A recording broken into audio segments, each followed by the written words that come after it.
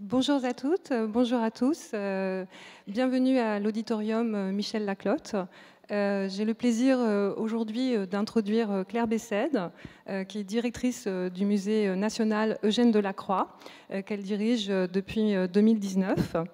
Euh, alors Claire Bessède euh, est conservateur euh, général, conservatrice générale, pardon. elle, a été commissaire de nombreuses expositions, notamment sur Puvis de Chavannes au musée de Picardie à Amiens, sur Jean-Jacques Henner au musée de la vie romantique et au musée Jean-Jacques Henner à Paris. et aujourd'hui, elle est parmi nous pour vous présenter l'exposition De la Croix et la Nature qui vient d'ouvrir mercredi dernier. Euh, et qui fermera ses portes le 27 juin prochain. Euh, donc sans plus tarder, je lui passe la parole pour vous présenter cette très très belle exposition que je vous invite à aller voir euh, en sortant. Merci beaucoup. Merci beaucoup Aline de cette présentation. donc l'exposition, la nouvelle exposition du musée de la Croix qui a ouvert ses portes au public hier, c'est De la Croix et la Nature. Donc avant de vous présenter un petit peu son parcours, mais qui est juste une petite présentation en espérant que soit vous l'avez déjà vu, soit vous allez très vite aller la voir, euh, je souhaitais d'abord évoquer la manière dont l'exposition a été conçue et ses enjeux. Euh, alors, donc là, vous avez la, magnifique affiche avec le, le, jeune tigre jouant avec sa mère, enfin un petit détail. Voilà, de l'affiche de l'exposition. Et comme on est l'année du tigre euh, dans le calendrier chinois, c'est une heureuse concordance des calendriers. Euh, donc il y a évidemment euh, pour nous un enjeu scientifique c'est reprendre avec peut-être un angle un petit peu décalé un sujet qu'on a finalement l'impression de connaître. Alors vous ne connaissez sûrement pas ce dessin avec des petits moutons euh, qui vient tout droit des réserves du musée de la Croix, euh, mais quand on pense de la Croix et la nature, vous, imaginez tout de suite des tigres, des lions, euh, des bouquets de fleurs, et c'est vrai on le connaît ce sujet, mais finalement, euh, au-delà de dire qu'il y a des tigres, des bouquets de fleurs et des lions, euh, on ne le connaît pas forcément si bien que ça. Euh, et quand on, se met à regarder finalement les tigres en tant qu'animaux, à rechercher les fleurs dans les paysages, etc., on se dit mais il y a beaucoup d'autres choses à dire et pas, seulement rester sur, une énumération de sujets finalement. Euh, et c'est un, sujet qui est aussi très intéressant du point de vue du, croisement avec les écrits de Delacroix. Delacroix, c'est un peintre, mais il a, aussi beaucoup écrit. Euh, il a tenu un journal euh, pendant de nombreuses années, et vous pourrez voir au musée de la Croix le, le journal de 1857. Et donc là, vous verrez, c'est pas du tout un petit agenda, c'est vraiment un, voilà, chose assez grand, avec les, et vous verrez l'écriture de Delacroix. Euh, il a aussi une correspondance assez abondante qui a en partie été, été publiée, et vous avez sans cesse finalement des annotations, des, choses que peut écrire Delacroix qui sont en lien avec la nature. Et c'est particulièrement intéressant comme sujet parce que ça permet justement de croiser finalement euh, les écrits de l'artiste et puis ce qu'il a pu peindre, ce qu'il a pu dessiner. Alors le croisement peut être tout à fait simple et littéral. Vous voyez sur le dessin avec les moutons, il y a tout en haut une date 5 octobre. Eh c'est le, le, 5 octobre 1856 euh, où Delacroix écrit dans son journal le matin, dessiner les moutons, nous montons avec le troupeau. Et quand on voit ces, moutons qui sont dessinés en partie, euh, ou de la croix souvent n'a pas fini, fait que la tête, on imagine très bien courir après le, troupeau pour essayer de capter au maximum les moutons. Alors, il écrit aussi à un, de ses amis souliers euh, en 1850, mais à peine étais-je dans les champs, au milieu des paysans, des bœufs, de quelque chose de naturel, enfin, je rentrais dans la possession de moi-même, je jouissais de la vie. Voilà l'estime que je fais de ce qu'on appelle le monde. Alors Delacroix, c'est quelqu'un qui est plein de paradoxes et de contradictions, bien évidemment. Euh, il dit qu'il rêve de vivre au milieu des bœufs, mais en fait, euh, il habite principalement Paris. Euh, quand il s'installe en, 1857 rue de Furstenberg, c'est pour être proche de Saint-Sulpice, où il est en train de, de, travailler au décor de la chapelle des Saints-Anges, et pas trop loin de l'Institut où il vient d'être élu. Et sa vision de la nature, c'est essentiellement sa maison de campagne. Voilà. Mais des bœufs, on peut en voir dans le décor de la bibliothèque de l'Assemblée nationale. Je vous en montrerai une esquisse. Euh, et le, sujet du décor, c'est Orphée apportant les arts et la paix aux Grecs encore sauvages. Donc on voit bien que c'est un sujet très éloigné d'une représentation de la campagne. Euh, donc l'idée de l'exposition, euh, et là je vous ai mis quelques, quelques détails hein, que j'ai pu saisir avec mon, mon, téléphone en me promenant dans l'exposition. C'est avant tout d'essayer de, capter des, détails, justement, des petites choses auxquelles on ne fait pas forcément attention. Moi, je n'avais pas toujours fait attention qu'il y avait un cheval blanc euh, en bas à gauche de la mort de Sardanapale. Alors là, ce n'est pas le tableau du Louvre, hein, c'est la copie de Frédéric Villot qui est au musée de la Croix, qu'on a intégré à l'exposition. Euh, et que finalement, ce, cheval, il est très intéressant parce qu'on se focalise sur la diagonale qui va dans un sens euh, du sardanapale à la femme qui est au premier plan, qui est en train de, se faire égorger. et en fait, le cheval, il fait l'autre diagonale, ce qui permet au tableau de tenir. Et lui aussi, comme cette femme, il va vers un, destin tragique. Et il est plein d'arnachements, de, broderies, de pierreries, enfin, comme, comme toutes les richesses du roi sardanapale donc finalement, il symbolise très bien ce tableau. Et puis, alors d'autres petits détails, euh, vous avez pu passer devant ces tableaux qui sont au musée de la Croix, vous les avez sans doute jamais vus. Euh, donc, ce sont des petites fleurs qui sont dans l'éducation de la Vierge, un petit monstre marin qui est euh, dans une des esquisses pour le décor aujourd'hui disparu de l'hôtel de ville de Paris. donc là, c'est Hercule attaché en et le Cerbère, le chien à trois têtes, qui lui est dans une autre scène de la vie d'Hercule. Mais des, choses comme ça, des détails comme ça, il y en a beaucoup dans les tableaux de Delacroix. Et c'est vrai que le fait de, travailler sur ce, sujet de Delacroix et la nature, euh, à moi et à mon équipe, ça nous a vraiment permis de, finalement de, regarder différemment nos, nos, propres œuvres et puis aussi de les faire dialoguer avec d'autres. Ça, je vais vous les montrer.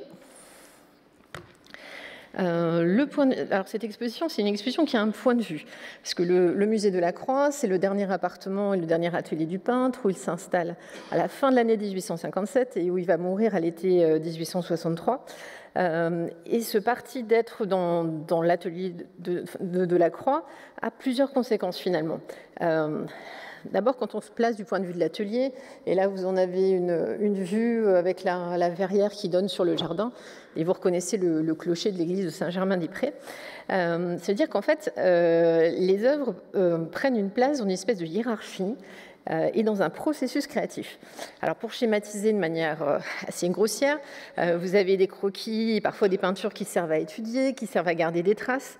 Vous avez des esquisses qui permettent d'avoir une première idée en fait de ce qu'on va faire comme tableau en mettant en place la composition, les principales couleurs et des tableaux achevés qui sont ceux qu'il expose. Euh, et aussi ce qu'il vend. Moi, on me pose souvent la question, mais pourquoi est-ce que Delacroix n'a pas signé ce tableau? Mais c'est parce que ce tableau, euh, c'est une esquisse, et c'est un tableau qu'il gardait dans son atelier et qui, n'était pas du tout destiné à être montré finalement, ni à être vendu.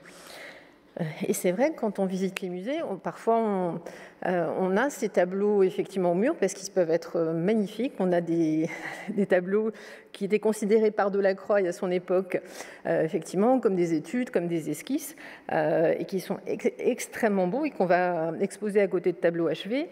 Et parce qu'on a ce critère finalement de, de, qualité esthétique, ce critère de sujet, on ne fait plus attention à, la place des œuvres dans finalement le processus créatif du peintre. Et une des idées de l'exposition, c'était aussi de rappeler toutes ces choses-là. Euh, surtout que Jeanne Delacroix, il se veut, euh, ça a beau être un, peintre assez révolutionnaire dans son art, euh, il se veut avant tout un peintre d'histoire. il, a une grande idée, il va avoir beaucoup de mal à le faire, c'est d'être élu à l'Institut, et d'être élu à l'Institut comme peintre d'histoire. donc ça, il y arrivera au début de l'année 1857 donc juste avant de s'installer euh, rue de Fürstenberg. Et ce qui veut dire aussi qu'il va exposer principalement des tableaux qui relèvent d'un grand genre. Alors c'est pas pour ça qu'il va faire des tableaux d'histoire avec des sujets qui viennent, euh, qui viennent de l'histoire, qui viennent de la littérature, de la, euh, des textes de la Bible. Enfin, donc, donc quand il va exposer des tableaux de, fleurs ou tigres, il en expose quelques-uns. Ce sont un, peu, un petit peu des exceptions. Euh, et c'est quelqu'un qui ne se considère pas du tout comme un paysagiste ou comme un peintre animalier, pour autant. Donc ça, c'est tout à fait euh, important aussi à avoir, en, à avoir en tête. Et quand je vous montre un des tableaux les plus beaux de l'exposition, qui est un, près du, musée du Louvre, euh, en fait, on sait c'est un tableau que Delacroix a gardé dans son atelier, en fait. Il l'a peint dans les années 50. Euh, il l'a gardé jusqu'à sa mort en 1863. Euh, il l'a absolument pas exposé. C'est euh, quelque chose qu'il a peint pour lui parce qu'il a, il a aimé ce séjour à Dieppe, qu'il il a souhaité le, garder avec lui dans son atelier. Alors dans l'atelier de Delacroix, vous aviez plus de 600 peintures, puis de, plus de 8000 dessins dans des cartons. Donc là, je me base sur les, chiffres de l'inventaire après décès. Euh, donc vous, imaginez tout ce qu'il pouvait avoir euh, près de lui pour s'inspirer, pour se rappeler des choses, pour faire fonctionner sa mémoire. Et là, curieusement, ce tableau qui est aujourd'hui exposé, euh, exposé sur les Cimaises au Louvre et puis en ce moment au musée de la Croix, euh, n'avait jamais été vu avant la vente après décès de Delacroix en 1864. Et euh, Théophile Sylvestre nous dit qu'il a été vendu au milieu des applaudissements. Alors, ce qu'on ne sait pas du tout sur ce propos de ce tableau, c'est s'il a été peint devant la mer. Là, on a l'impression, enfin, je dis impression, ça doit être un, lapsus assez, révélateur, euh, que Delacroix l'a peint euh, euh, sur le motif, en essayant de traduire la les reflets de la lumière du soleil sur l'eau, etc. Mais en fait, on n'en sait rien du tout. il au contraire, il écrit dans son journal, donc à la date du 14 septembre 52, et depuis Dieppe, c'est d'après cette mer que j'ai fait une étude de mémoire, ciel doré, barque attendant la marée pour rentrer. Alors quand il dit qu'il a fait une étude de mémoire, ça veut bien dire qu'il ne l'a pas faite euh, euh, sur les rochers, euh, devant la mer, sachant qu'à cette époque-là, l'étude de peinture n'était pas encore n'était pas encore inventé. donc pour Delacroix, ça aurait été compliqué aussi d'aller peindre en emmenant son chevalet devant la mer. Une autre euh, conséquence de ce, choix du point de vue de l'atelier, c'est qu'en fait l'exposition traite de la manière dont Delacroix envisage un, petit peu la nature en général. Euh, et on a tendance à, étudier de manière un peu séparée ces, études de végétaux, ces études d'animaux. Euh, et on se rend compte en les rapprochant, et là vous avez des, lions écorchés, donc des années 20, et une étude de branches d'arbres. Euh, combien euh, elles, sont finalement un petit peu le reflet de la même démarche. Euh, ce qui est vraiment une démarche d'étude. De, la Croix cherche à comprendre la structure des choses, que ce soit le, celle des animaux ou celle des végétaux, pour pouvoir ensuite mieux la, mieux la peindre. Je, reviendrai là-dessus. Il parle d'architecture lui-même. Et donc il écrit, euh, par exemple, depuis euh, sa maison de campagne de Champs-Rouzet, euh, Je comprends mieux depuis que je suis ici, quoique la végétation soit peu avancée, le principe des arbres. J'ai remarqué souvent en dessinant des arbres de quelle branche, qu'une branche séparée est elle-même un petit arbre. Alors là, le dessin est quasiment l'illustration parfaite de l'extrait que je, que je viens de vous lire. Donc il est dans une espèce d'émerveillement, d'étude euh, par rapport à ce qu'il euh, à voit. Donc ça, c'est vraiment la première, euh, un petit peu la première étape. Et, c'est de ces études-là qu'il va pouvoir se servir ensuite pour imaginer ces tableaux. Donc là, on est vraiment au tout début du, processus créatif. Et le, fait d'avoir finalement cette, vision-là, ça permet euh, d'échapper un petit peu à une tentation du catalogue où on classerait tout par, euh, par sujet, euh, et puis de, se poser un certain nombre de questions, parce que finalement, vous le verrez dans l'exposition, Delacroix dessine un petit peu toutes sortes d'animaux. il va dessiner des moutons, des corneilles, des chats, et puis c'est pas les chats qu'il va peindre, c'est les tigres. Et ce n'est pas du tout un hasard s'il représente beaucoup plus euh, dans ces tableaux euh, de, de lions, c'est-à-dire le roi des animaux, de tigres, qui est l'incarnation de la férocité, euh, de chevaux, qui est la noble monture de l'homme. C'est justement parce que ces animaux-là lui permettent d'exprimer encore plus ce qu'il veut exprimer dans ses œuvres, c'est-à-dire le, mouvement, la passion, alors que exprimer la passion avec un mouton ou un chat, c'est sans doute plus difficile pour lui. Euh, donc voilà. Donc je vais. Voilà. Donc voilà Delacroix, euh, plutôt à la, fin de sa vie, et, l'escalier du, musée. Euh, pour vous dire qu'en fait, c'est une autre, une autre chose à avoir en tête aussi, c'est que le, musée de la Croix, c'est une, alors je ne vais pas dire une maison parce qu'on est dans une copropriété, mais c'est un, un, lieu où a vécu un, un peintre, euh, et que nos visiteurs viennent en premier lieu pour voir, euh, pour voir l'ancien appartement, l'ancien atelier d'Eugène Delacroix. Donc on n'est pas du tout dans une salle d'exposition euh, blanche, modulable, carrée, etc. Mais c'est vraiment un petit peu tout le contraire. C'est pour ça que moi je ne vous parlerai pas de, avec des, de salles, mais je donnerai l'ancien nom aux pièces. je vais parler de la salle à manger, de la chambre, etc. Euh, et que cette identité qui est très importante du musée, cet esprit du lieu en fait, euh, a été prise en compte aussi dans, l'exposition. Euh, parce que ce n'est pas du tout un, lieu qu'on peut vider en fait pendant l'exposition. C'est l'ancien atelier de Delacroix, il a une collection aussi. donc vous retrouvez beaucoup d'œuvres du musée de la Croix dans l'exposition. Parce que c'est un moyen de les, montrer. Il n'y avait pas de raison qu'elles soient en, réserve pendant le, temps de l'exposition. Et puis aussi, c'est un, moyen de, les faire dialoguer avec des prêts, avec des œuvres qui n'ont pas l'habitude d'être là. Je trouve que c'est important aussi. Euh, et puis, ça c'est une, conviction euh, profonde, je pense que de la croix à la nature, ce n'est pas, pas juste un sujet, et que ce, type de sujet d'exposition doit être vraiment adapté euh, au lieu qu'il accueille. C'est-à-dire que de la croix et la nature au musée de la croix, on l'a fait d'une certaine façon, et que le même thème aurait pu être fait totalement différemment au Louvre ou totalement différemment au musée national d'histoire naturelle. Et compte tenu de nos surfaces d'exposition, qui sont assez réduites, vous le, verrez, et de, et ces choix, il y a évidemment des, sujets assez intéressants qu'on n'a pas pu traiter ou qu'on effleure juste. Euh, ce sera peut-être euh, l'objet d'autres développements plus tard. Moi, c'est vrai que j'aurais bien aimé pouvoir parler des, grands tableaux de fleurs qu'il fait euh, en 1848, d'approfondir un peu plus la question de ses liens avec George Sand et puis autour de la question de la botanique et du jardin.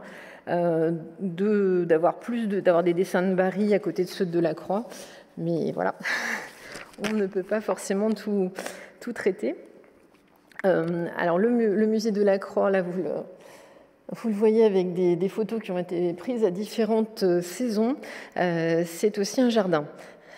Alors un jardin qui existait à l'époque de Delacroix et dont il avait, quoi qu'étant locataire, la, jouissance exclusive.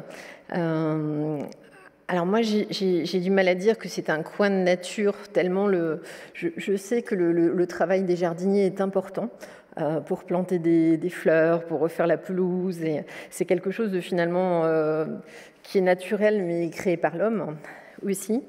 Euh, et il a été rénové il y a maintenant dix ans dans, l'esprit du mémoire de jardinage fait par l'entrepreneur euh, Adolphe Cabot et que vous aurez la chance de voir dans l'exposition. Donc ça, ça fait partie des pièces d'archives un petit peu iconiques euh, qu'on peut présenter dans l'exposition.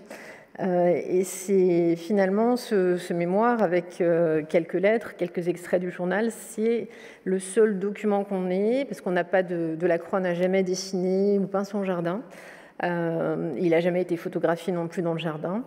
Euh, pour nous dire quelles étaient les gouttes de la croix et la manière dont il avait souhaité euh, que ce jardin soit aménagé. Alors on sait qu'il aimait beaucoup les fleurs, plus particulièrement les rosiers, notamment les rosiers du Bengale, qui étaient à l'époque très nombreux. Donc c'est pour ça que vous en avez aujourd'hui au musée de la Croix. À l'époque, il y avait des, des massifs bordés de thym et une vigne. Alors il y a toujours la vigne, euh, mais comme euh, l'immeuble euh, au fond du jardin a été reconstruit, qu'il est aujourd'hui beaucoup plus haut, malheureusement l'ensoleillement n'est pas le même, donc les, massifs bordés de thym n'ont pas, pas duré. Mais vous avez, en fonction des saisons, vous pouvez voir des groseilliers, des framboisiers, un, figuier, un coudrier. Donc c'est et toutes, toutes, ces évocations, en fait, euh, enfin, tous ces, arbres que vous pouvez aujourd'hui trouver dans le jardin. Et si vous voulez euh, essayer d'imaginer le jardin du musée de la Croix, donc on a fait un, podcast. Vous avez en fait Adolphe Cabot, le jardinier de la Croix, qui vous raconte le jardin, notamment à partir de ses mémoires de jardinage. Donc il y a deux façons de l'écouter. Il y a le site du musée de la Croix euh, et il y a aussi un, QR code dans le jardin, donc comme ça vous pouvez écouter l'histoire du jardin depuis euh, assis sur un, ce, très joli banc vert clair. Voilà. Alors, je vous montre maintenant, on va passer tout à fait dans un autre univers, c'est dans la, boutique de Dérol. rue du Bac, puisque pour vous raconter toute l'histoire de, l'exposition, donc en fait, le, moi, l'idée du sujet est venue de discussions avec Louis-Albert Debreuil et son équipe, parce qu'on avait un départ envie, on s'est dit, on est, on est voisins, on pourrait faire un partenariat. Puis le musée de la Croix a un jardin, des rôles s'intéressent à la nature, ça pourrait être bien. Euh, donc, dans l'idée de partenariat au départ, il y avait euh, des visites du musée de la Croix euh, qui se seraient poursuivies chez Desrolles. Puis bon, moi j'ai commencé à réfléchir sur ce thème de visite, regarder ce qu'on avait dans la collection en lien avec la nature, et je me suis rendu compte qu'il y avait beaucoup, beaucoup plus de choses intéressantes que ce que je pensais, et qu'on pouvait aller bien au-delà finalement d'un, de juste une visite et en faire un vrai sujet d'exposition. surtout qu'après il y a eu le confinement, que, j'ai eu du temps pour lire, relire le journal de Delacroix, je me suis rendu compte effectivement de toutes ces correspondances absolument passionnantes euh, entre ce qu'écrivait Delacroix et, euh, et les, les, œuvres du musée. Euh, ce qui fait que la, Maison des Rôles est devenue partenaire et mécène de l'exposition. donc, il nous prête deux animaux naturalisés que vous allez, que vous allez voir sur les, sur les images, et une très jolie planche ancienne avec des coquelicots. Euh, alors, se pose la question d'exposer des animaux naturalisés. Euh, évidemment. Alors, pour moi, c'était un moyen assez intéressant de mettre le visiteur finalement un petit peu dans la, dans la peau de, l'artiste, en fait, face à l'animal, en lui donnant sa, taille réelle, parce qu'une lionne, c'est quelque chose de parfois un peu abstrait. Euh, et c'est vrai que la voir finalement en face de soi, euh, bon, ça, Bretta, je dis, ah oui, finalement, c'est un grand animal. voilà. La, petite corneille aussi. Euh, même si, euh, évidemment, elle ne bouge pas. Et pour le dessinateur, c'est quand même le fait d'avoir un sujet qui bouge beaucoup, c'est évidemment fondamental. Euh, c'est aussi un moyen d'évoquer l'intérêt de la croix pour les animaux naturalisés. Parce que non seulement il allait à la ménagerie du Jardin des Plantes pour dessiner, euh, mais il allait assez souvent au muséum. Euh, je vais vous lire un petit extrait de son journal donc de 1847, Cabinet d'histoire naturelle, public les mardis et vendredis, éléphants, rhinocéros, hippopotames, animaux étranges. Rubens l'a rendu à merveille. J'ai été saisie en entrant dans cette collection d'un sentiment de bonheur. Quelle variété prodigieuse d'animaux et quelle variété d'espèces, de formes, de destinations. Combien il est nécessaire de se secouer de temps en temps, de mettre la tête dehors, de chercher à lire dans la création, qui n'a rien de commun euh, avec nos villes et les ouvrages des hommes. Alors évidemment, s'il n'avait pas parlé de son sentiment de bonheur, je n'aurais pas choisi de mettre des animaux naturalisés dans l'exposition. Voilà. Et puis l'identité, je finis, du musée de la Croix, euh, c'est aussi d'exposer, euh, d'avoir une collection extrêmement diverse. Euh, parce qu'on a des dessins, des peintures, des sculptures, des lithographies, des céramiques, des lettres, des archives. On a même un magnifique chasse-mouche ramené du Maroc, des objets achetés étranges aussi, des bibelots qu'on expose dans l'exposition quand ils ont un sujet animalier. Euh, et donc une assez grande diversité de, collections dans, une, dans, un lieu qui est finalement assez réduit en taille. Euh, et cette idée de, croiser finalement les techniques et de les présenter ensemble, euh, c'est quelque chose un petit peu identitaire pour le musée de la Croix. Donc là, vous voyez la mer Dieppe qui, quand ce tableau est exposé au Louvre, il est au département des peintures avec des peintures autour. Et le fait de l'exposer, je trouve, au, milieu de dessins, d'aquarelles, euh, de la vie, ça insiste encore plus, enfin, je trouve qu'on le, voit un petit peu différemment, finalement, sur toute la virtuosité technique de Delacroix et sur combien cette technique de l'esquisse, euh, qui est très très fluide, c'est de la peinture à l'huile mais extrêmement fluide, euh, doit à sa maîtrise de l'aquarelle. Je ne l'avais jamais autant regardé et vu qu'avant de l'avoir exposé de, de cette manière-là. Voilà. Et alors pour euh, nous, Musée de la Croix, c'est le, dernier enjeu, c'est aussi l'enjeu de la reconquête du public. On a, comme, euh, tous les musées, euh, subi un recul de notre fréquentation du fait de la fermeture et de la crise sanitaire. donc là, c'est une, exposition, je ne vais pas dire grand public, hein, parce qu'on reste quand même sur des sujets d'histoire de l'art, mais qui se veut accessible à un large public. Donc on a des... Je ne sais pas si vous voyez donc des cartels qui sont courts. c'est 300 signes. Alors 300 signes, c'est un petit peu frustrant parce qu'en fait, vous développez une idée, mais c'est sans doute beaucoup plus percutant. Euh, et puis qui sont traduits en anglais, ce qu'on n'avait pas fait pour les expositions précédentes, euh, parce qu'on a quand même au moins 25% de notre public euh, qui n'est pas français. et qui ne parle pas forcément du tout français. Et on a tout un parcours avec des cartels enfants que vous voyez là. Alors vous les reconnaissez parce qu'ils sont surmontés d'une petite lionne, qui est un des tableaux qui, est dans l'atelier. Lionne prête à s'élancer, peinte par Delacroix. Donc c'est un petit peu la, mascotte de l'exposition pour les enfants. Euh, et sont des cartels qui permettent d'approfondir de manière assez simple, en fait, les, donner les, éléments essentiels euh, pour les enfants, mais en fait, on s'est assez vite rendu compte euh, que c'était pas du tout pas uniquement les enfants qui les lisaient, aussi beaucoup les adultes. Euh, au cours de, cette exposition. Euh, alors c'est un, vous me direz aussi que ça peut être un sujet un petit peu euh, dans l'air du temps, peut-être peut-être pas forcément à la mode, mais c'est aussi un vrai sujet pour Delacroix et pour le musée. Et alors qu'on est à un moment finalement, on a pu s'interroger sur notre place par rapport à la nature, par rapport à notre environnement. Euh, J'espère que c'est une exposition où on pourra se poser quelques questions. Pourquoi est-ce qu'on a ce sentiment effectivement d'être dans la nature quand on est dans un jardin qui est entièrement euh, pensé par des jardiniers? Euh, Pourquoi est-ce qu'on ne fait pas toujours la différence entre le, réel et son, image hein? Entre le, le vrai lion, le vrai tigre, et puis euh, on dit que c'est un tigre quand c'est une image qui est complètement reconstruite et fantasmée par un artiste. Euh, et puis on est peut-être aussi un petit peu parfois comme, euh, comme de la croix des citadins pour qui la campagne est nécessaire de temps en temps, comme il l'écrit lui-même dans son journal. Euh, alors c'est un, le sujet, bon, au-delà des, résonances actuelles et qu'il est important aussi pour les musées de, de savoir saisir, d'être aussi dans son époque. il est aussi m'est aussi apparu rapidement que c'était un petit peu une évidence qu'une exposition sur le thème de la nature ne pouvait pas multiplier les transports, les emballages, euh, donc vous, allez euh, avoir une exposition avec beaucoup de prêts euh, qui viennent de, musées parisiens. qui, viennent, qui viennent du Louvre, du musée d'Orsay, de l'INHA, du Petit Palais, des choses des collections du musée de la Croix, donc qui viennent d'encore plus près. parce que l'idée, c'était aussi de faire un petit peu quelque chose d'un petit peu local et, qui ne, ne, multiplie pas forcément ces, forcément les transports, de même qu'il n'y a pas une muséographie ostentatoire. On a fait faire uniquement les vitrines et les podiums et les socles qui étaient, strictement nécessaires. Voilà. Maintenant, on va rentrer dans le, vif du sujet. Je vais vous montrer un petit peu quelques images de l'exposition et du parcours.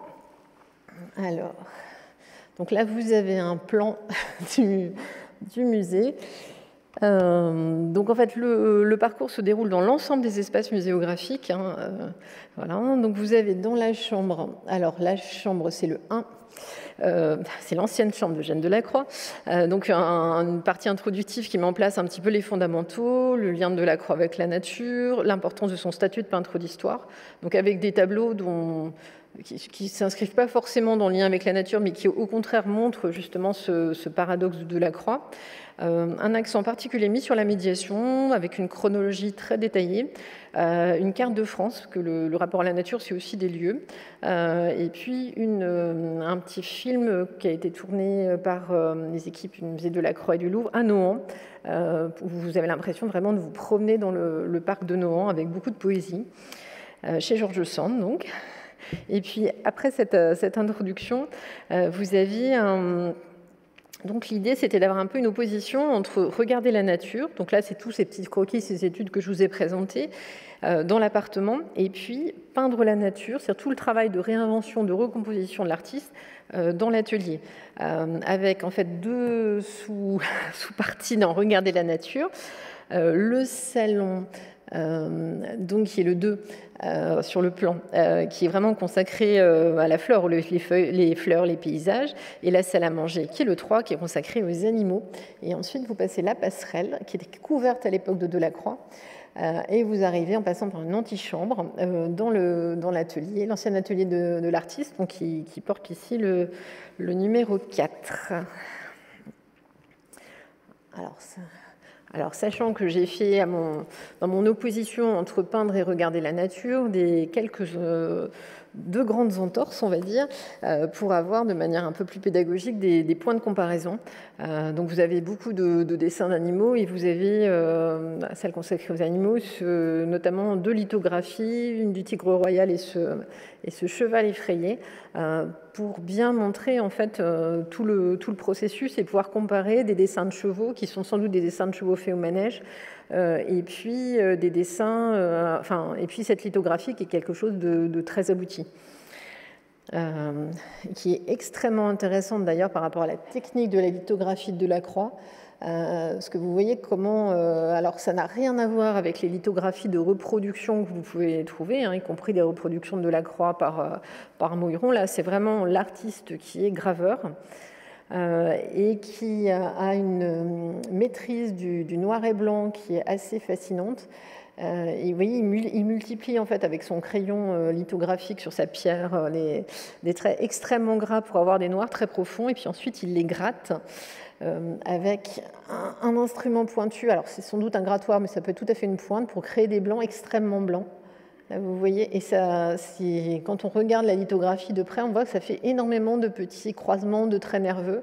Euh, et autant les lithographies de, reproduction, vous aviez des, ce système de hachures souvent extrêmement régulière, extrêmement géométrique. Chez Delacroix, rien n'est régulier.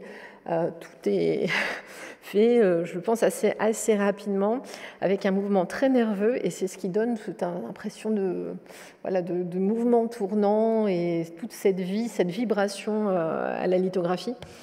Et puis, il y, il y a quelque chose qu'on retrouve aussi dans le tableau de la lionne prête à s'élancer, c'est que il y a quelque chose qui, manque en fait euh, dans l'image, euh, qui est que le cheval est effrayé, mais on ne sait pas par quoi. On ne sait pas si c'est l'orage euh, avec un, éclair, si c'est un lion qui est prêt à se jeter sur lui, si c'est un homme, si c'est par juste un bruit, c'est rien du tout. De même que la lionne qui est prête à s'élancer, on ne sait pas sur quoi.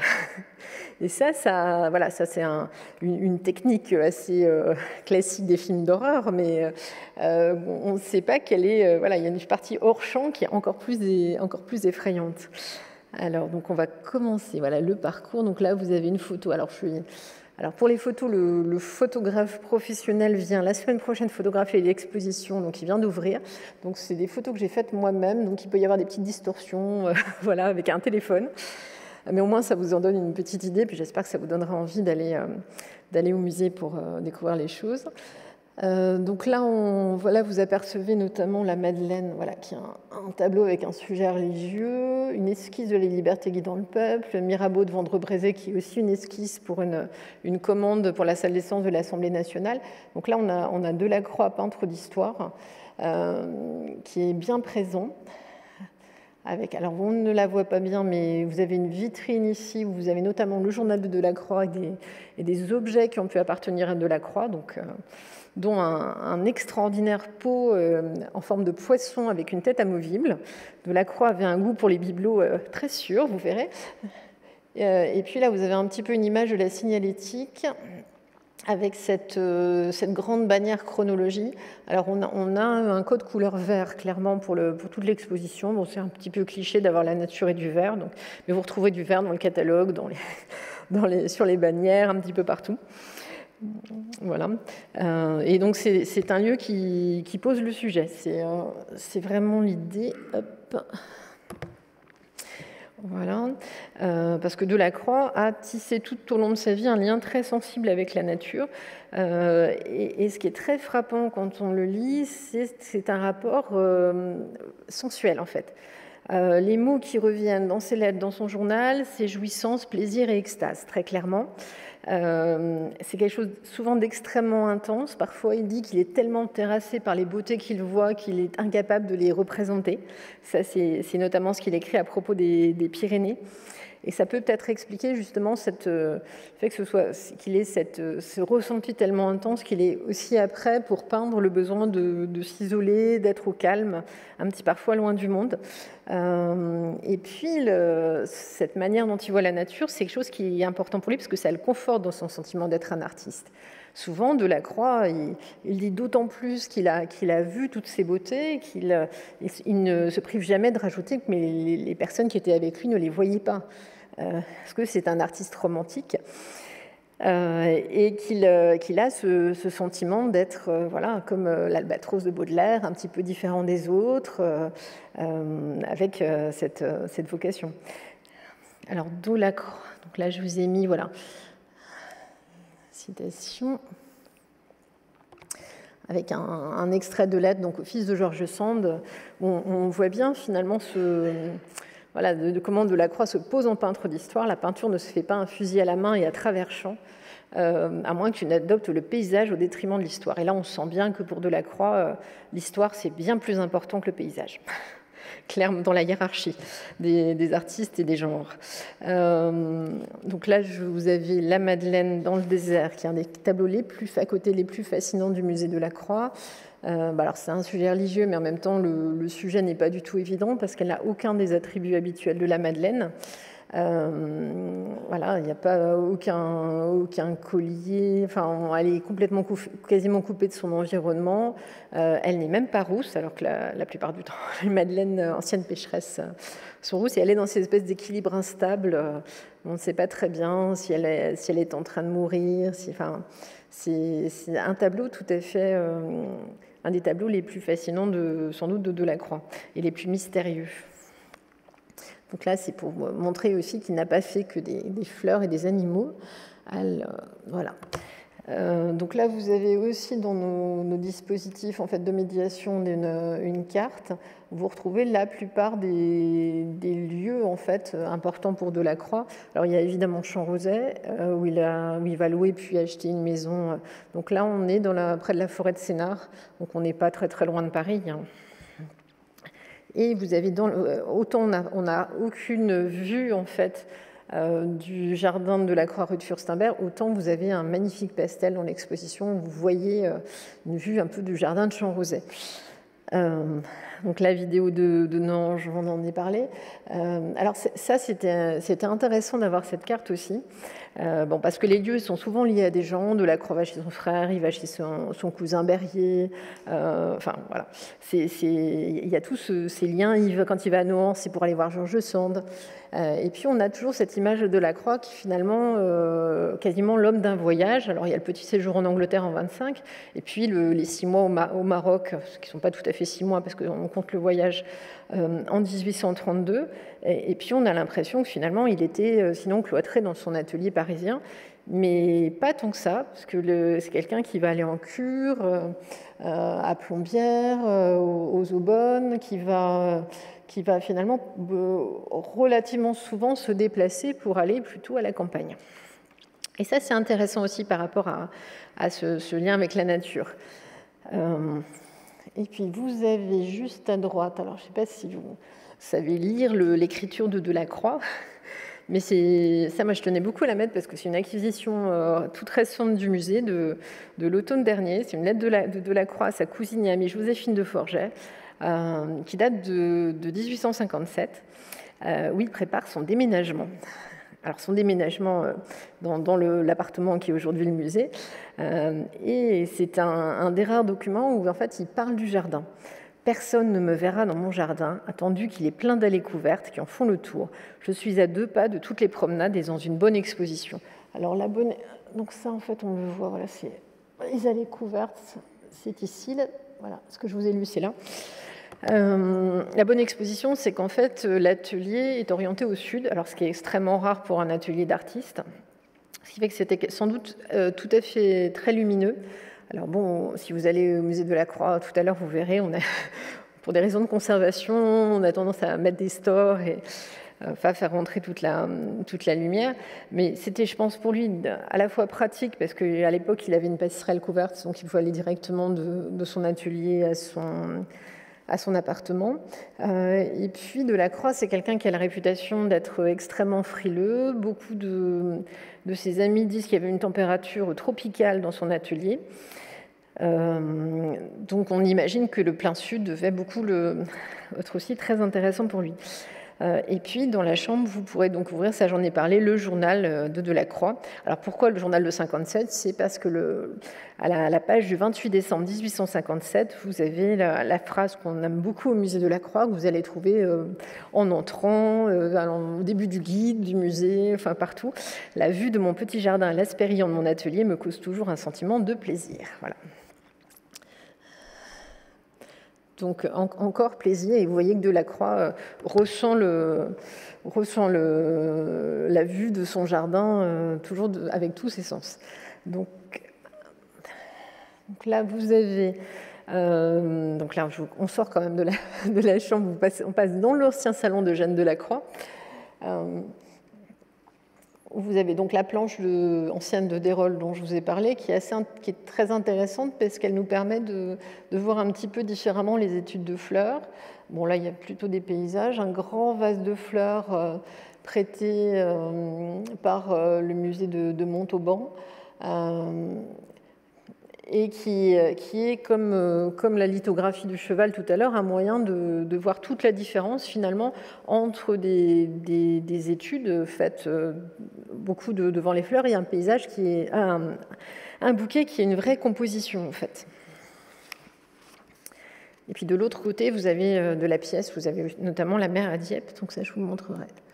Voilà, ça c'est un petit peu l'autre côté, donc il y a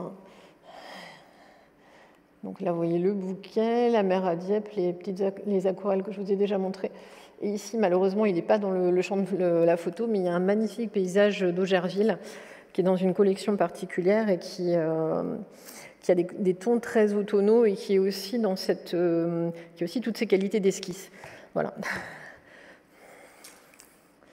Donc voilà, parmi les, études de fleurs qu'on présente, donc il y a cette, euh, ce, dessin à la mine de plomb et à corail qui réunit donc un pavot, un pavot de Californie, une anémone. Alors euh, pour tout ça, évidemment, on a, j'ai confirmé ça par les, personnes qui s'occupent du jardin du musée de la Croix. Euh, et alors, ce qui, est, ce qui est assez fascinant dans cette étude, au-delà du fait que ce soit un extrêmement beau dessin, très précis, partiellement aquarellé, avec des couleurs qui sont, auxquelles la, photo ne rend pas du tout justice, euh, c'est le fait que Delacroix les positionne ses fleurs, euh, alors plus ou moins consciemment, hein, et ça on le voit très bien en, voyant à côté la planche d'Hérol, à la manière dont on présente habituellement les fleurs dans un herbier, dans un livre de botanique. Euh, ça c'est quelque chose voilà, que j'ai vraiment découvert en, étudiant, en étudiant l'œuvre. Et là, on voit bien que c'est un dessin d'étude euh, complètement. Euh, celui-là est, beaucoup moins travaillé au niveau du, positionnement avec les marguerites et les ignas, euh, des choses de sans doute plus spontanées. De la croix étudier un petit peu la forme euh, des fleurs, la couleur, voilà. Et vous retrouvez des marguerites dans le, le grand bouquet en fait, qui est là. Je ne sais pas si on voit bien, voilà. Euh, alors les qui sont, qui sont blanches, qui sont au centre du tableau, avec des fleurs rouges autour. Et donc vous verrez, que ce soit dans La chasse au tigre ou dans beaucoup d'autres tableaux, c'est un, des trucs de construction de la croix, c'est-à-dire qu'il euh, met souvent une touche, de, une blanc, souvent un vêtement hein, au milieu du tableau, euh, pour attirer l'œil, et puis qu'il construit un petit peu aussi son tableau avec du rouge très vif autour et qui joue souvent avec du vert, qui est la couleur complémentaire du rouge. Ça, vous allez le voir dans beaucoup, beaucoup d'œuvres euh, de Delacroix. Euh, et, on voit vraiment la, différence entre ce qui est de, l'ordre de l'étude, hein, assez rapide, et puis euh, ce tableau qui est extrêmement composé, qui a même un petit aspect vanité avec le, collier, la, fleur, la fleur coupée et fanée. Et, et où on est plutôt dans quelque chose qui relève pas, pas, vraiment de la nature, mais beaucoup plus d'un lien avec l'histoire de l'art et d'une démonstration de, virtuosité picturale. Euh, ah, je, vais quand même, vous lire ce que Georges Sand écrivait sur, euh, sur Delacroix. J'ai vu Eugène Delacroix essayer pour la première fois de peindre des fleurs. Il avait étudié la botanique dans son enfance et comme il avait une admirable mémoire, il la savait encore. Mais elle ne l'avait pas frappé en tant qu'artiste et le sens ne lui en fut révélé que lorsqu'il reproduisit attentivement la couleur et la forme de la plante. Je le surpris dans une extase de ravissement devant un lys jaune dont il venait de comprendre la belle architecture. C'est le mot heureux dont il se servit. Donc ça, ça vous dit tout sur les, études de fleurs de Delacroix. Euh, donc on présente alors donc à la fois des, études qui sont des choses qui sont très très poussées, très détaillées, euh, et puis tout à fait ce type de paysage où Delacroix il est, il est pas du tout dans la recherche de détails, hein, de, euh, le zoom, mais il est beaucoup plus dans le grand angle. Alors là, il déforme totalement la perspective, euh, ce qui fait qu'on ne voit pas du tout de, ciel, parce que ce qui l'intéresse, c'est tout le travail sur les ombres, les lumières, les masses, et, puis, et puis les différents verts. c'est quelque chose qu'il avait beaucoup admiré en regardant les tableaux de Constable notamment. et ce, travail sur les différents verts voilà, est tout à fait important pour lui. Donc là, on passe dans la salle à manger, l'ancienne salle à manger de la Croix. Vous avez un buste de l'artiste. Voilà. Et vous avez au mur un certain nombre de dessins, là aussi avec une typologie assez variée. Euh, alors tous ne vont pas forcément ensemble, mais l'idée c'était vraiment de, montrer des choses euh, avec une certaine diversité. Euh, donc vous avez des, moutons, des chats, des corneilles, enfin toutes les choses qu'on peut croiser au quotidien. On va commencer par les, chats. De la... Alors ça c'est un paradoxe tout à fait intéressant. Delacroix aimait beaucoup les chats, mais il, ne les a pas peints. Alors il les a dessinés, on trouve des chats, il y a son de chats plutôt assez fantasmatiques. Hein. Vous avez notamment un, dessin euh, à l'encre où on a des chats qui se mêlent aux éléments décoratifs avec un, air assez, euh, assez étrange. Et là, vous avez manifestement un, chat tigré qui était là, euh, que Delacroix a dessiné. Alors, il bougeait un petit peu, donc Delacroix l'a dessiné trois fois. Euh, donc, c'est pas trop, évidemment trois, trois chats différents. Alors ça, c'est une pratique qu'il a beaucoup. Hein. Je vais vous montrer un carnet avec des têtes de, de, corneilles. il fait dix fois la même tête, deux, plusieurs corneilles différentes, mais enfin, en tout cas, il répète beaucoup sur la même, la feuille le même animal. Euh, voilà. Et, donc, on a beaucoup moins de, dessins de tigres parce qu'il apparaît que Delacroix, on a, on a, vu, a, pu en voir assez peu, parce que notamment, il n'y en avait pas à la ménagerie euh, avant les années 30, et puis euh, peut-être qu'il en a vu à Saint-Cloud, mais il les a sans doute peu dessinés. Mais voilà, on peut penser aussi que dans son élaboration et son travail sur le tigre, le chat peut être, peut être important. Alors, en 1876, donc le, critique Théophile Sylvestre nous raconte un jour le chat de Delacroix, qui était une chatte, fit ses petits dans une armoire à dessin. Dès ce moment, l'artiste aima mieux loger beaucoup de tigres et de lions dans sa tête qu'un seul chat dans son atelier. Et vous, allez voir, dans l'ensemble, l'ancienne salle à manger de la Croix, nous logeons beaucoup de tigres et de lions, mais pas seulement, euh, en particulier parce qu'il y a toute une vitrine avec des bronzes et un plâtre de Barry. Euh, alors, le sculpteur Antoine-Louis Barry, c'est un, ami de Delacroix et dans les années 20, il a beaucoup fréquenté avec lui la ménagerie du Jardin des Plantes hein, pour observer notamment les fauves. Ils assistaient aussi, à des séances de dissection. Donc là, on est aussi dans l'étude de, l'anatomie, hein, de, l'architecture, entre guillemets, des animaux. Euh, donc là, je vous ai montré tout à l'heure le dessin de d'après le lion de la fameux lion offert par l'amiral de Rigny. Euh, et puis il y a un, billet qui est aussi euh, assez célèbre, que vous voyez là, qui est dans une, dans une des vitrines euh, que nous prête Liliane. Le lion est mort, au galop, le temps qu'il fait doit nous activer, je vous y attends. alors le temps qu'il fait doit nous activer, c'était parce que bah, évidemment l'animal mort va se décomposer, donc il faut vite qu'il se presse pour pouvoir le dessiner tant qu'il est temps. Voilà. Et donc tous les, animaux qui sont dans la vitrine de Barry euh, ont été choisis pour être un petit peu en écho avec ceux qui sont dans la pièce dessinée par Delacroix. Voilà. Alors il y a aussi un petit dispositif euh, avec une corneille naturalisée mais qui est en, hauteur, hein, qui est prêté par Desrolles, et puis ce, carnet avec ses têtes de corneille. Alors ça c'est un, magnifique dessin très, où, toutes sont différentes, toutes sont expressives. Euh, voilà, on a presque l'impression d'une espèce de transformation. Euh, Voilà. Et puis, je trouvais intéressant de ne pas exposer uniquement des feuilles, mais d'avoir plusieurs carnets. On en a euh, quatre en fait dans l'exposition, deux carnets euh, anglais qu'on expose pour a acquis en 2019 et qu'on expose pour la première fois, donc qui, montrent euh, notamment les parcs anglais, un carnet plus fantastique en fait qui est dans l'atelier. Et puis, donc c'est celui-ci avec les têtes de Corneille, mais on voit vraiment euh, comment le dessinateur pouvait s'en saisir, avoir cet objet un petit peu rigide pour dessiner, l'emmener avec lui. Euh, euh, c'est avoir cette dimension d'objet dans le dessin, je trouve c'est aussi très important. Et donc, vous avez des corneilles, vous avez aussi des chevaux. Donc ça, alors, dans les, années 20, Delacroix a une espèce d'impérieuse nécessité d'aller étudier euh, l'anatomie du cheval. Il, faut absolument se mettre à faire des chevaux, aller dans une écurie tous les matins. Alors, je ne sais pas s'il y allait tous les matins, mais en tout cas, euh, on a quelques dessins assez magnifiques. Et alors, celui-là est particulièrement intéressant parce qu'il y a notamment une main de sans doute celle du dessinateur qui qui est en bas. Euh, et je vous parlais d'une typologie relativement variée finalement de dessins. Euh, donc là, il a peut-être pu les continuer ensuite, mais on est, on est plutôt dans des choses faites euh, au manège.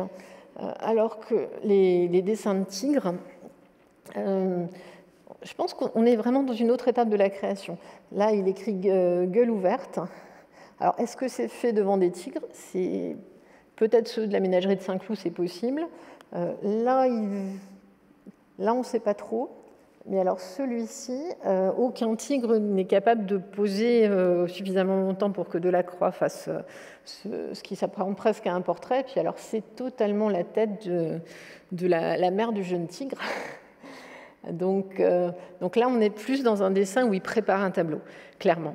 Où il utilise finalement ses croquis pour élaborer lui-même son tigre.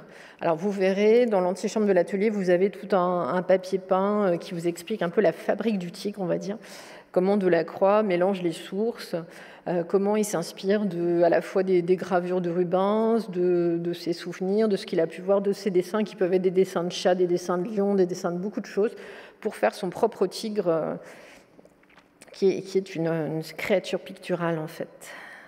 Et là, vous en avez un des prototypes qui est le, tigre royal. Donc là, on est dans une lithographie de, 1829-30, hein, qui est avec un paysage plutôt oriental, mais on ne sait pas bien d'où. Euh, comme souvent, il représente ses fauves dans un paysage. Voilà. Et, là, ce tigre avec ses yeux euh, très inquiétants, enfin, son, attitude, voilà, c'est a priori plus un, tigre du Bengale, euh, mais il a, on est dans le, prototype du tigre que Delacroix va représenter euh, peu après dans le jeune tigre jouant avec sa mère, dans le, Bacchus et un tigre, qui est une, des fresques de l'abbaye de Valmont, euh, que vous voyez aussi dans l'exposition, euh, et dans de nombreuses autres œuvres. Donc là, vous passez la passerelle et vous arrivez dans l'atelier, donc avec derrière le papier peint. Oups, on voit pas bien, mais c'est pas ici. Donc là, je ne veux pas tout vous montrer non plus, il faut que vous gardiez quand même un, effet de, découverte en venant au musée de la Croix. Euh, et donc là, vous arrivez dans l'atelier, donc avec la, la lionne naturalisée de Dérol. donc ce, mur qui est consacré à la question de la, figure dans le, paysage hein, et du paysage dont je vais vous parler. Euh, celui-ci consacré à la mise en scène de l'animal avec évidemment le, tableau phare de l'exposition, le jeune tigre jouant avec sa mère. Et puis, et puis derrière, donc un des, un carnets euh, aussi dont je vous ai parlé. Euh, et puis ce, mur où on va, au-delà de la mise en scène, où de la croix va complètement euh, créer des animaux imaginaires, les recomposer. Donc là, vous avez le serpent python, ça c'est une copie d'Odilon Redon de la galerie d'Apollon, qui a un serpent géant, des caricatures que je vais vous montrer. Donc le petit monstre marin que vous avez vu tout à l'heure, il est là. Là, vous avez un dragon aussi. Euh, vous verrez un peu plus. Donc le jeune tigre jouant avec sa mère. Euh, donc là, on est avec un tableau qui est très très atypique euh, finalement dans la production de, de, hein, parce que c'est un, vous, l'avez vu sur la photo de l'atelier, c'est un grand format, c'est un format qui est assez peu habituel pour les, tableaux qui représentent des animaux. ça montre bien que Delacroix souhaitait donner à son, sujet toute une, place comme, comme, pour un, beau portrait de groupe ou un, tableau d'histoire. Alors peut-être qu'il l'assumait pas complètement parce qu'il a, il a exposé ce, tableau au salon avec comme titre Étude de deux tigres. Et vous le verrez, c'est un tableau complètement fini, ce n'est pas du tout une étude. Voilà. Et alors, ce qui est inhabituel aussi, qui, en fait, qui fait aussi son intérêt, euh, c'est que les tigres ne sont pas du tout représentés dans un combat féroce, mais euh, au repos, dans une scène de quiétude familiale, plutôt sympathique, avec ce, ce tigre qui joue derrière. Mais on sait très bien que Delacroix n'a pas pu observer ce type de scène et qu'il a évidemment composé hein, d'après, ses dessins, d'après ses, souvenirs, son imagination. Donc c'est, un, travail de, peintre. Donc là, je vous ai parlé d'une scène assez euh, de quiétude.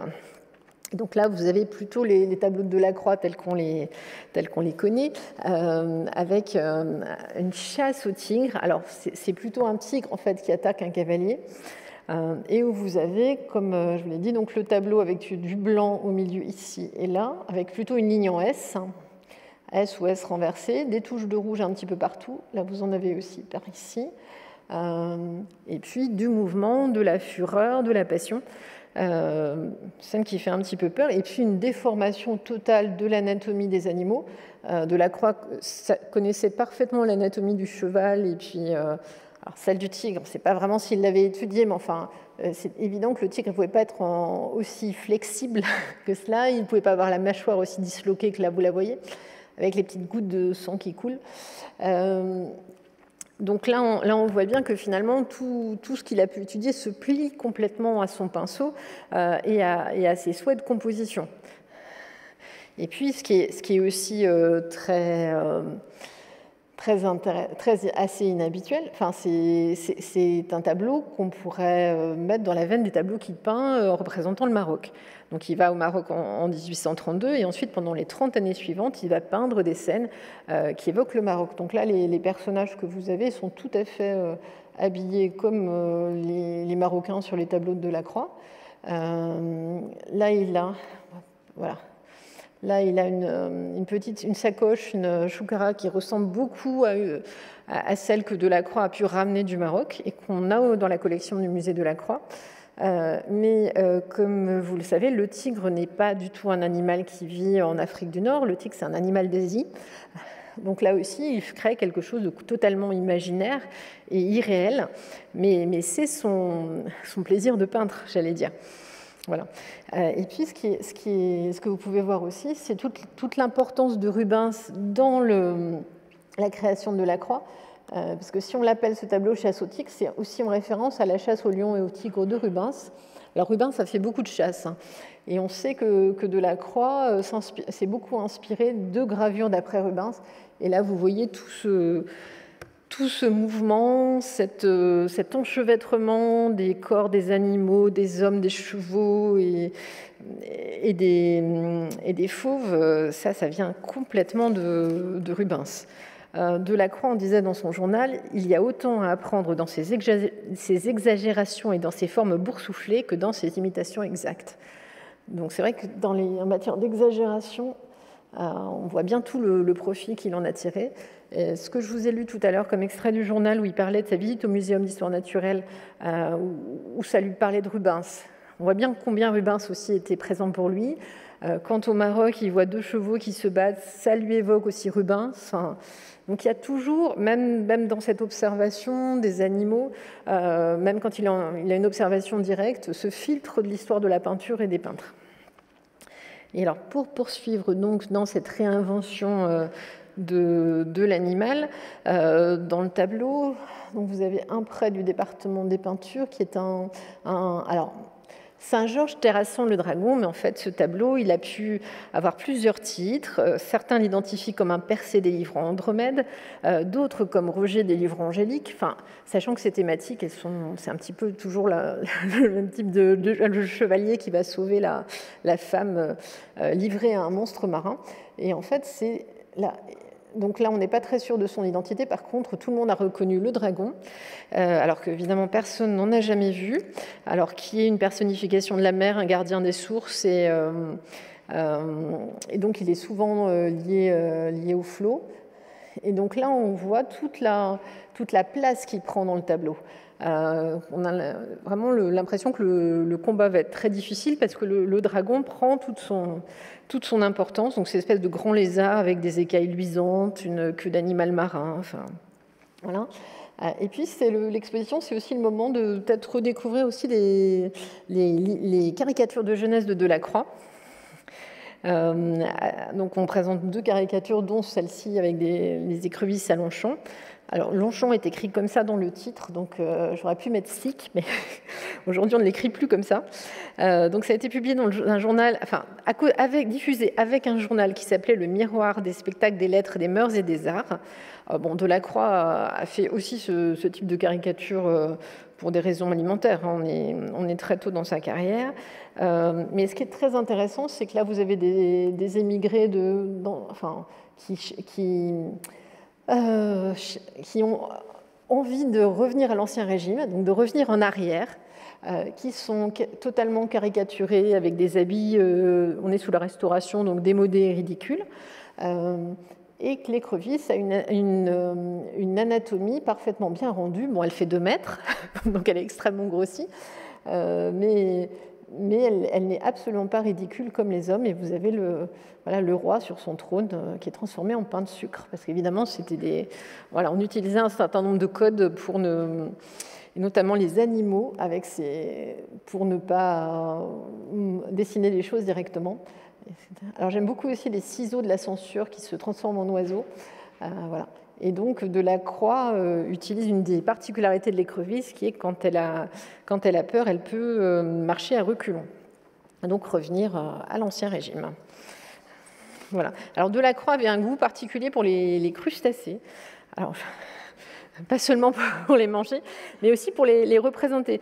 Donc, on, trouve des écrevisses donc, dans cette caricature. Vous avez aussi un, dessin qui est assez intéressant, euh, qui évoque un peu carnaval, enfin un, renversement des choses dans un carnet qu'on a mis en, vitrine juste en dessous, euh, où vous avez des crevisses qui pêchent euh, au lieu d'être pêchées. et puis vous avez évidemment la, la magnifique nature morte au homard du Louvre. Euh, donc je pense que c'est d'un point de vue pictural, euh, c'est un, animal qui l'intéressait particulièrement.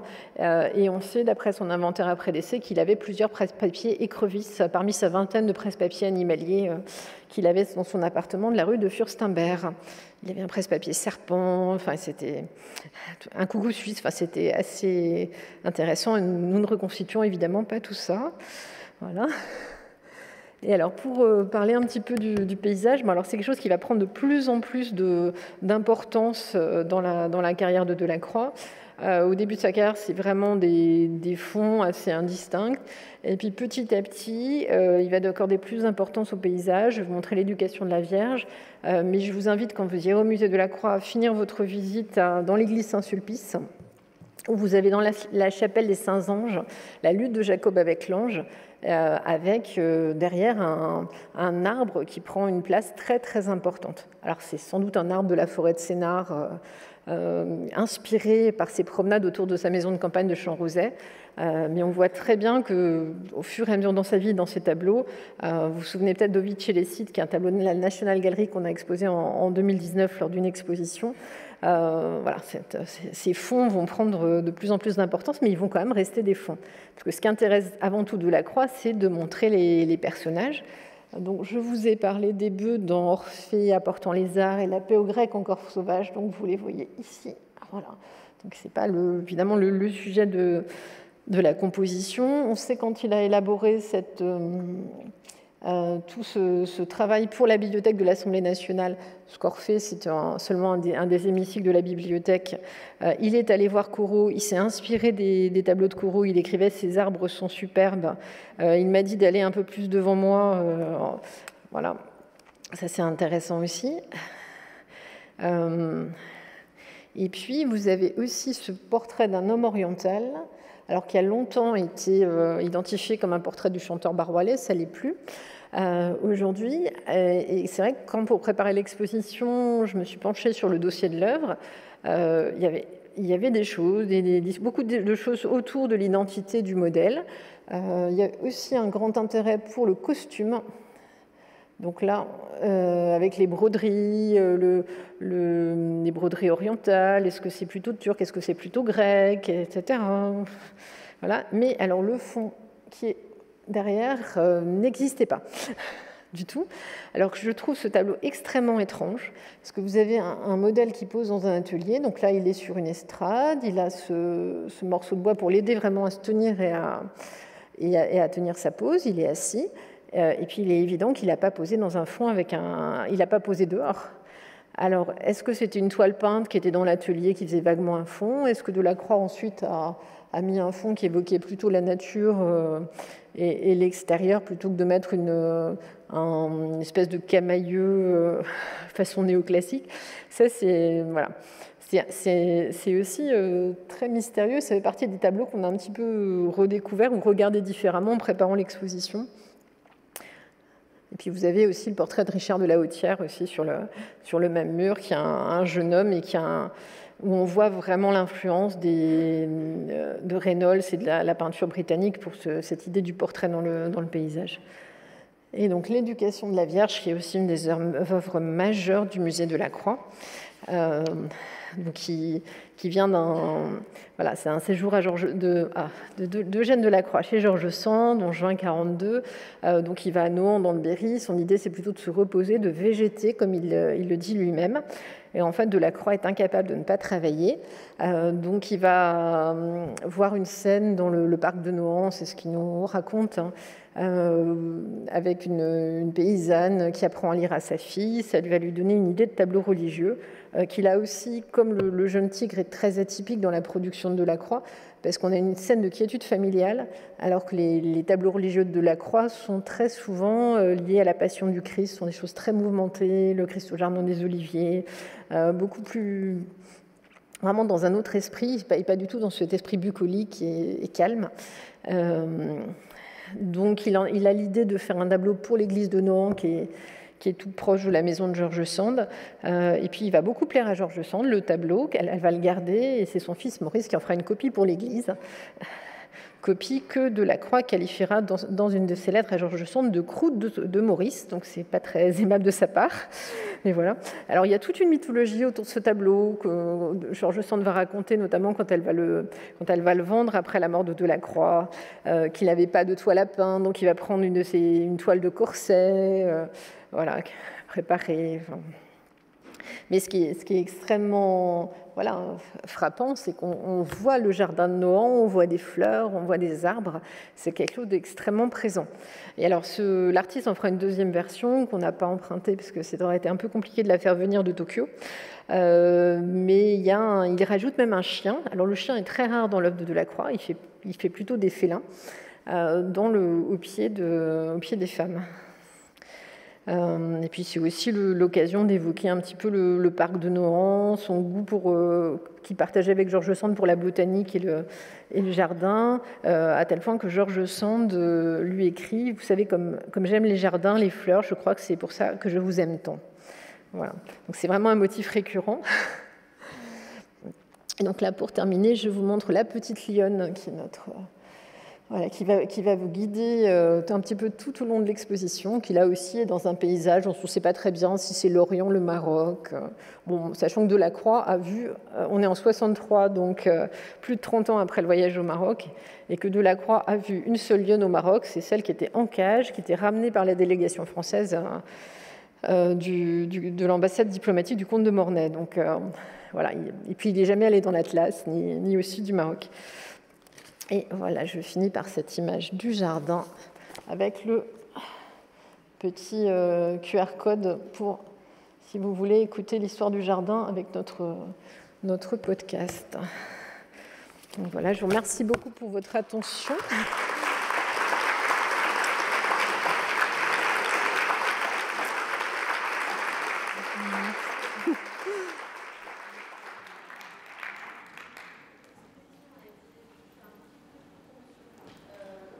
D'éditer un catalogue donc de la croix et la nature, alors avec voilà, une, typologie verte assortie à la signalétique de l'expo.